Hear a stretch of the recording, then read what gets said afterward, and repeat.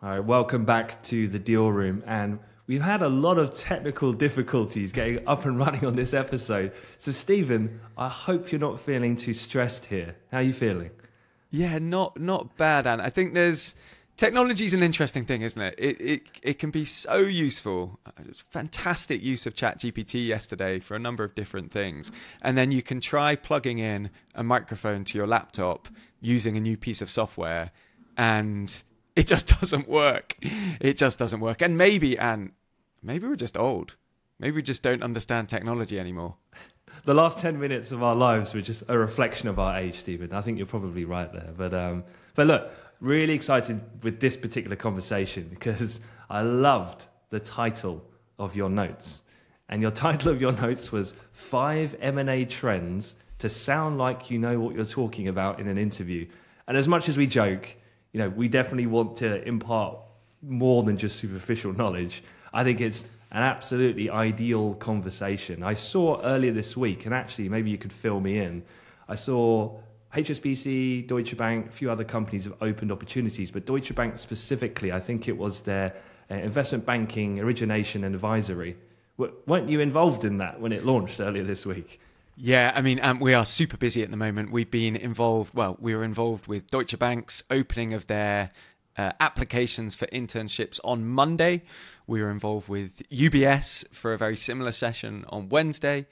Goldman Sachs next week. It's a, it's a fantastic, it's a fantastic time. And the learnings that we're getting listening in on these types of engagements, obviously we run the simulations, the business runs uh, gives and it provides an overview of, of the application process it gives us a really good insight across firms as to what they're looking for and what types of things students need to prepare in order to absolutely smash each level of the process. And i know you had a, a great conversation last week in terms of nailing some spring week offers. So we'll kind of continue from there.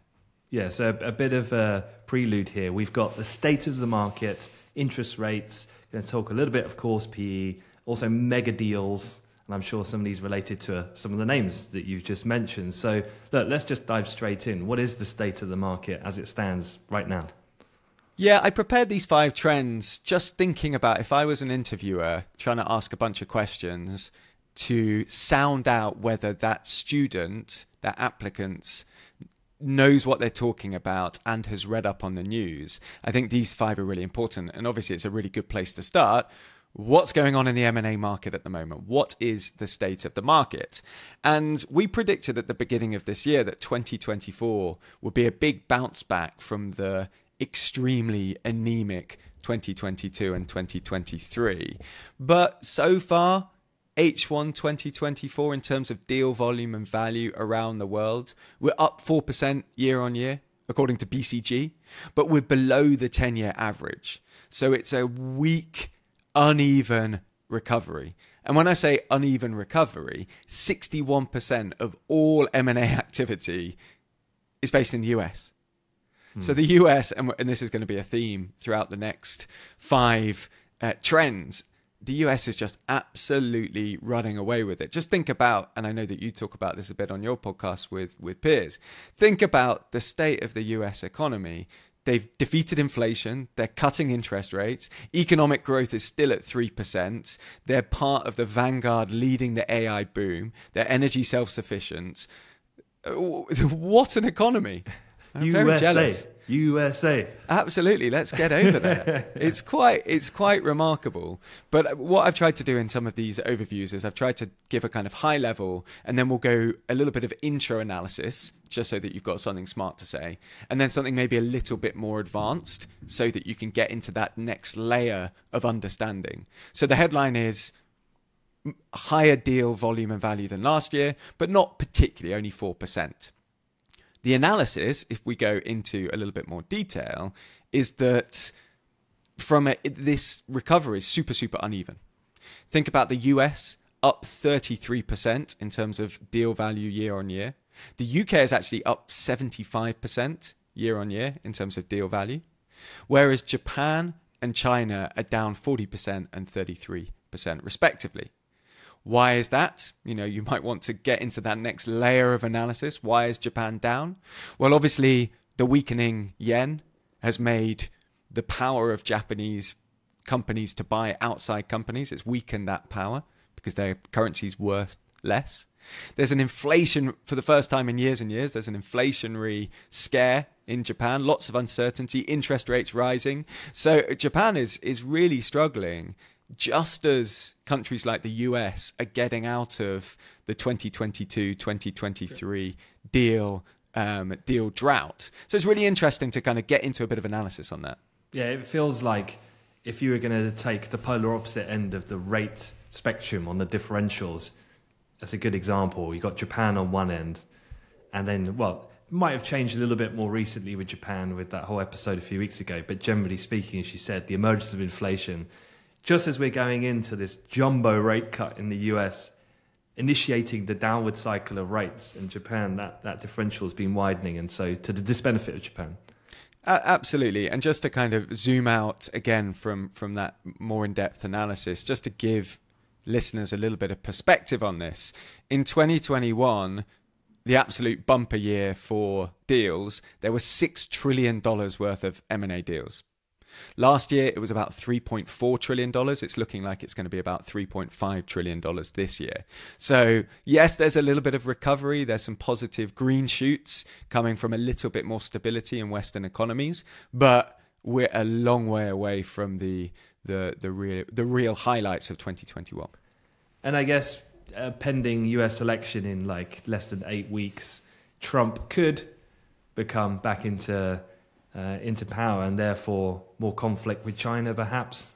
And so, might as well stand off any uh, unnecessary risk in going into talking deals prior to the election. Yeah, absolutely, and and and and as you as you rightly say, China's down thirty three percent. They've got their own problems from an economic slowdown perspective, but geopolitical tensions are, are, very much hanging above all of these conversations. I would expect that whether it's Harris or Trump, the U.S. will continue to go gangbusters from an economy perspective it's it is definitely an, a unique outlier economy compared to the rest of the world. But yeah, what the US does affects the rest of the markets. And remember, the US companies tend to buy a lot of international companies, and if there's geo- geopolitical tension, then that's going to decrease the attractiveness of Chinese assets for US companies. Okay, something you said in our last conversation was that if you're stuck and you need to answer a question, you can always say the magic word, which is interest rates. So this is kind of a, I guess, a natural kind of feed through into that previous point. So what do you have on interest rates?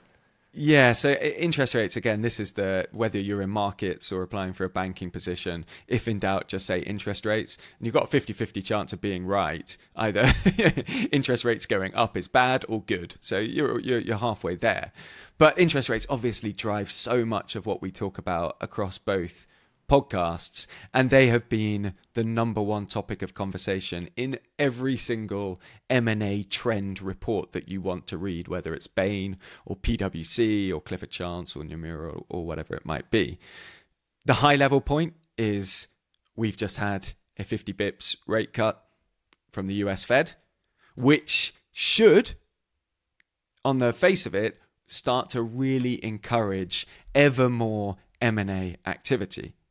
And superficially, this is relatively obvious because as soon as the cost of capital starts coming down, more assets, more acquisitions start looking more attractive. So that's your kind of headline. Interest rates low, cost of capital low, M&A targets become more attractive and M&A deal volumes and values go up. So this 50 bips cut, 25 bips in the UK, we're starting, well, we've ended the hiking cycle and we're on that hopefully steady kind of downward trend down to 2 or 3%. It's what we hope. If we want to go into a little bit more detail, let's go advanced. So take a look at the funding markets for M&A.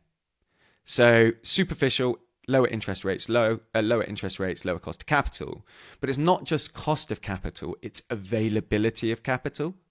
And if interest rates are really high, lots of organizations, lots of lenders, whether they're private lenders or bank lenders, are going to get a little bit concerned about lending to riskier acquisition finances because the interest rates are too high for that company to service the debt, to pay interest on that debt. So as interest rates have started to lower, and remember, uh, banks will look ahead six months, nine months, 12 months and set their own rates relative to the forward looking rate expectations. What we're seeing in the markets is a massive increase in debt issuance. So, the bond markets, for example, corporate bond market issuance is up 30, 31% year on year. Leveraged loan markets, so this is things like term loan Bs, acquisition finance for private equity firms, that surged 96% in the US in H1 2024 and 97% in Europe. So these slightly more riskier acquisition financings have absolutely rallied and, and come back in force. And often it's kind of the tail wagging the dog. If finance is available and it's becoming a bit cheaper, then you are going to see the knock on effect that people start doing more deals. So lots more fuel to fuel, hopefully, a, a kind of a buoyant H2 2024. Yeah, I was just having a, a, quick look in terms of what the market is currently pricing in in the short end of the fixed income curve, and it's basically looking for 75 basis points of more cuts by year end. Really? That I mean, look, we don't. What what do we know, Ant? But that sounds pretty punchy to me. That does indeed sound punchy. I think Piers will have a problem with that current market pricing when I talk to him later today. And just to just to kind of take on that take on that point just a little bit more, and if you want to go even more advanced than the the link between interest rates and availability of funding, just want you to to start thinking about the difference between corporate M and A, so one company buying another, and sponsor M and A, where a private equity firm buys another company. And think about the way that they fund themselves. So corporate M&A is recovering quite quickly because actually stock prices are relatively buoyant and a lot of companies can use their own stock to purchase another company, right? They don't need to think about leverage. They don't need to think about expensive debt because their share price is doing all right. And therefore, we've seen a bit of a rise in all stock purchases where you buy a company in exchange for shares of your company. Whereas sponsors, uh, private equity firms, are so heavily reliant upon debt to make their business model work. They're still like, come on, really need these interest rates to go down because that's our business model. So it's just really interesting getting into almost kind of peeling the onion, getting into that next layer of analysis. What is the market impact, the M&A market impact of a change in interest rates? Okay, you mentioned private equity there, and I know that was your third point. So, what's this private equity bottleneck you speak of? Yeah, this is a really interesting one, and we'll probably go straight into kind of advanced analysis. But private equity, because it's now such a big asset class, assets under management, private equity firms topping $15 trillion, they are such an important driver of the wider M&A market in terms of deal volume and value. And private equity's been in this really, really weird situation for the last couple of years where they bought assets when the going was good and valuations were pretty high. And they've been waiting and waiting and waiting to off offload these assets, offload these companies at a really good valuation. But because interest rates have been pretty high, valuations have been depressed. So, a bit of analysis from BCG. Private equity firms own over 27,000 portfolio companies. At least 50% have been held for more than four years. Now, a private equity firm model or a private equity fund model is that you own for three to six years and you make sure that you sell in order to realize a liquidity event, realize return on investment for the limited partners that are part of that private equity fund.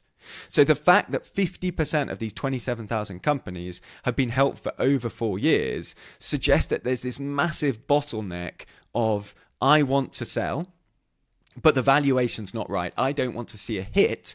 Imagine if I bought a company for a billion dollars and I can only get $800 million for it now because valuations are depressed. I don't want that to appear as a kind of a locked in loss.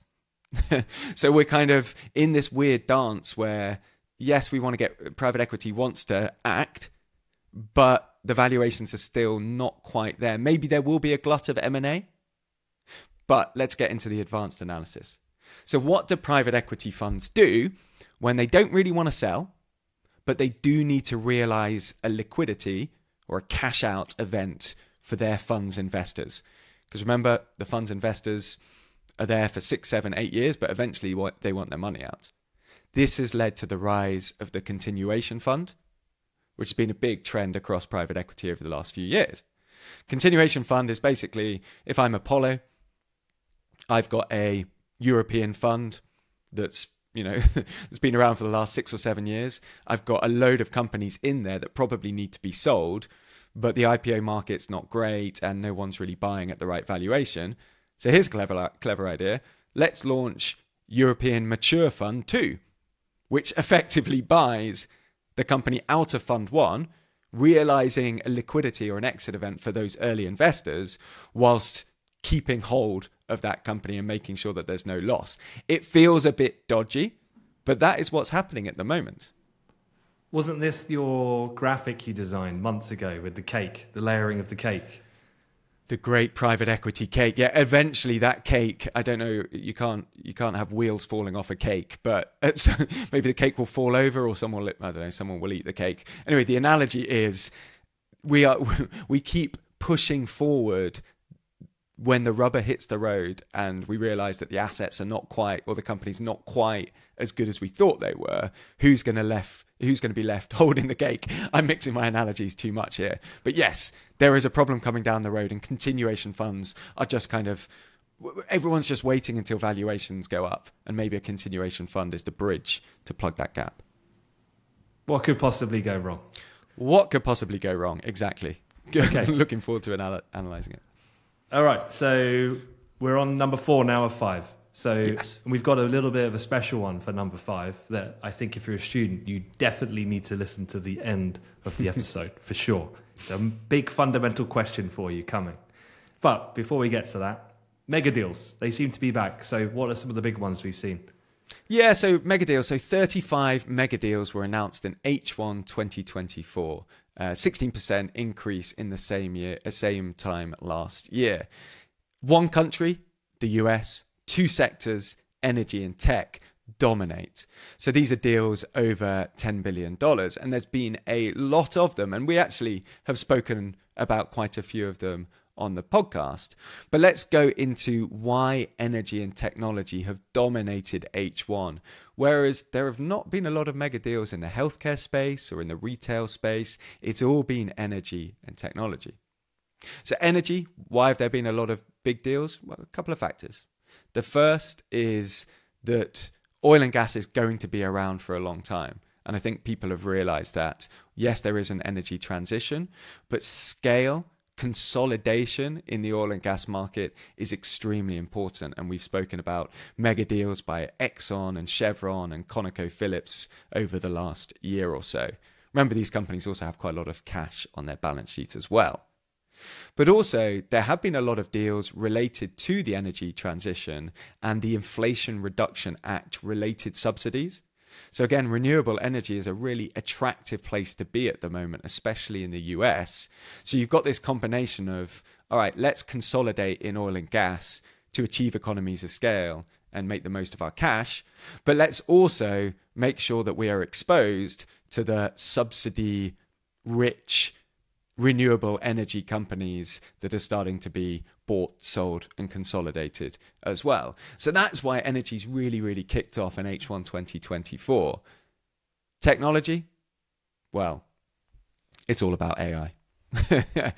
AI is one of the one of the best case examples of work of a technology that works better at scale. Right? The more data you have, the more infrastructure that you have to support the large language models, the bigger your data centers can be, the more GPUs you can buy, the better your product is going to be. And obviously, we talk billions and billions of dollars.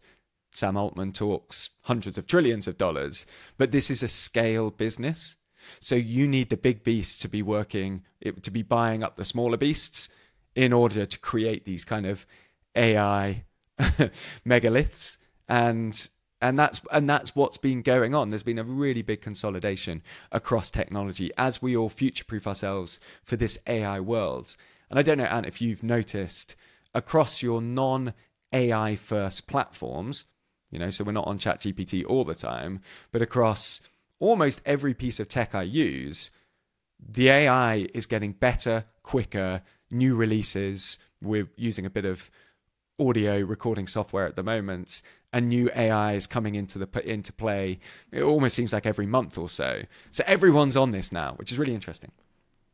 Yeah, I mean, until you posed that question, I didn't want to tell you, but you're not talking to me at the moment. This is this is this this thing that you're seeing and hearing has been built on hours and hours of podcasts.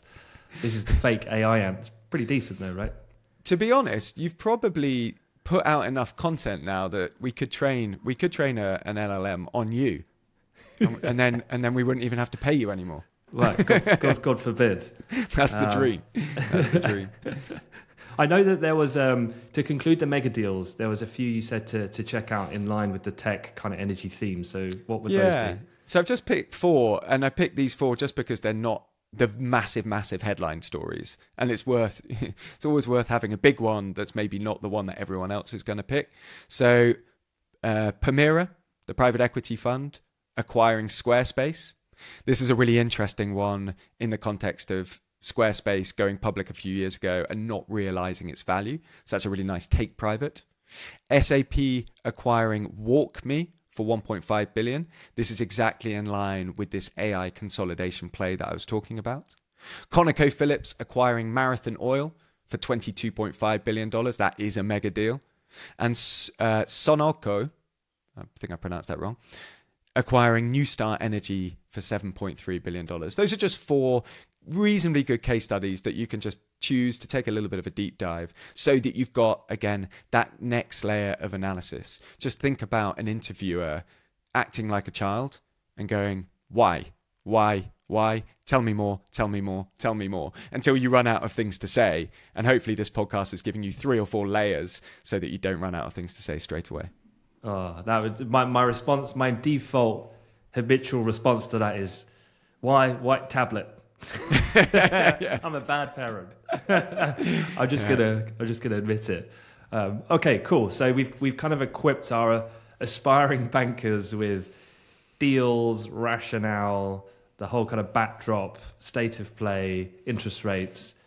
So let's talk a little bit about then making sure that young people have managed expectations and ask themselves. And I think you're a great person to kind of talk about this subject because you have lived it yourself. You've gone through exactly what these people are about to begin in their early careers. And it's the elephant in the room, which is all about working hours, working conditions, work life balance. Because there was this piece in the FT, I think, earlier this week, and it was talking about JP Morgan specifically. So tell me a little bit more about this, this story, and then, yeah, let's unpick this a little bit so that it can help manage people's expectations so that they know what they're signing up for if they do want to pursue this type of field.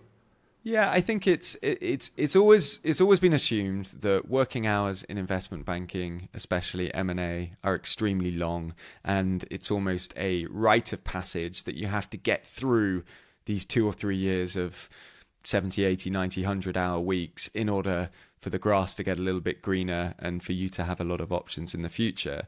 But I I get the impression that because this is a headline, because of what's happened in the Bank of America over the last few months, because of JP Morgan announcing that they're limiting working hours to 80 hours a week, still 12 hours a day, seven days a week. if you think about it that way, that's quite remarkable. Um, uh, oh, uh, and, and also, there's a lovely carve out in there, except during deal execution, which can, in busy times, be all the time. Yeah, I did see that that that one little extra line in this third paragraph of the story. Yeah. So so JP, it's not as if JP Morgan's got all soft and cuddly. It's still a minimum. It's still an eighty-hour week, except when you're on a deal. But but it's really. I think I think this is really important for young people to have a reasonable understanding. A of why the working hours are so long, and B your own response to those working hours. So let's start with why. So, why are working hours so long in the world of investment banking? Well, there's a number of reasons, some of which are legitimate, some of which are maybe slightly less legitimate. So, reason why working hours are so long is because this is a an incredibly competitive industry. If you just think about the bulge brackets versus the boutiques, everyone is chasing deals, and there probably aren't enough deals to go around, or at least that's the expectation.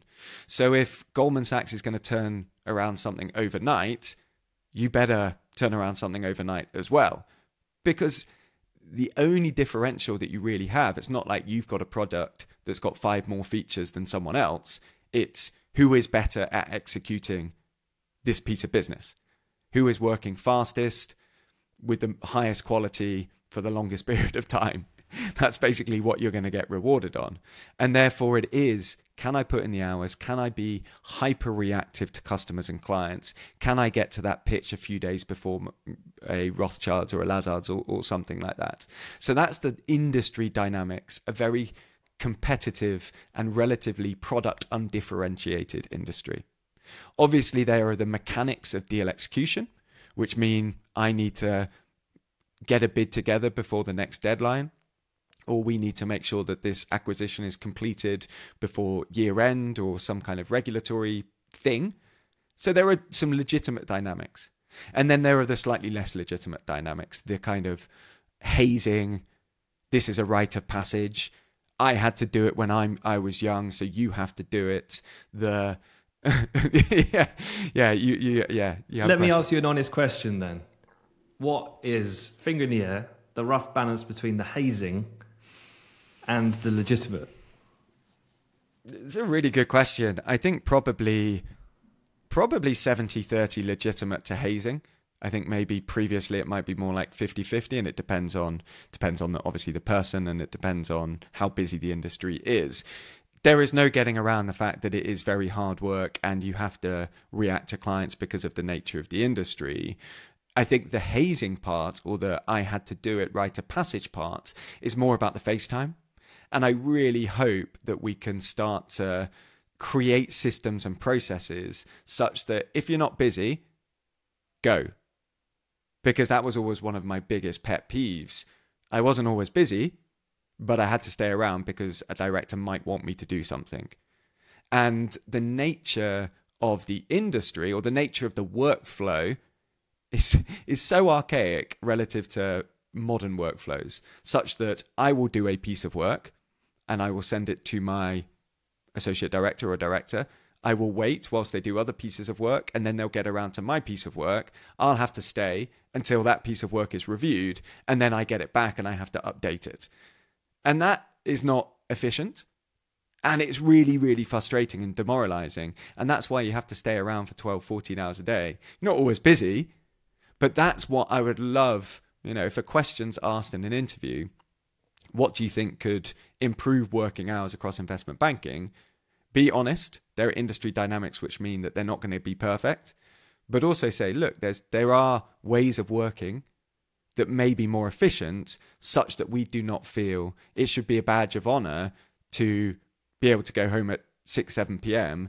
because you have organized your schedule such that you're not having a load of dead time.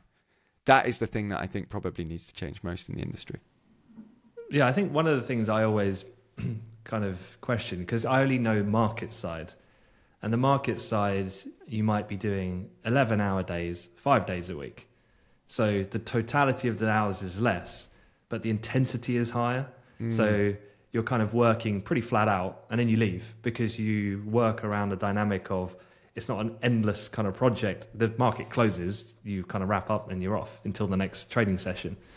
So I, I think in my head, because I kind of think if I worked like I used to work for 100 hours, there's no, no way I could survive it in the market's intensity. But I'm assuming that banking, it is a bit kind of lumpy uh, on the course of a normal day.